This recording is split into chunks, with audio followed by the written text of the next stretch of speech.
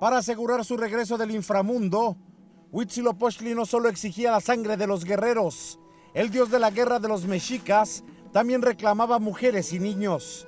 Así podría confirmarlo un revelador hallazgo en la calle de Guatemala 24 al norte de la Catedral Metropolitana y tan solo a unos pasos del Templo Mayor.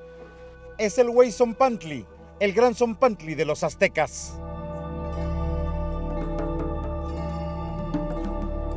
Ahí iban a parar las cabezas de los guerreros sacrificados. Un altar con cientos de cráneos empalados por las sienes. Visión que horrorizó a los cronistas españoles. Tú estás viendo una empalizada con, con, muchos cráneos semidescarnados y a la vez estás viendo una torre a cada lado y esta torre está formada por cráneos, pues debe de haber sido algo impactante para las personas que lo veían, ¿no? Había al menos siete en la Gran Tenochtitlán, pero este es el más grande, data de la sexta etapa del Templo Mayor, entre 1486 y 1502. El hallazgo consta de unos 450 cráneos, varios presentaban deformación y mutilación dental. O en los códices no se ve que tengan la mandíbula.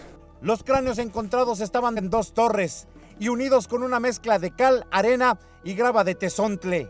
70% pertenecen a hombres, pero hay algo que no se esperaban los arqueólogos. Eh, tenían la hipótesis de que solo se iban a encontrar hombres, guerreros, cautivos de guerra, eh, pero no, eh, lo que estamos viendo, que existe una representatividad importante de mujeres y, y de niños también. Lo que puede echar por tierra que solo los guerreros eran ofrendados.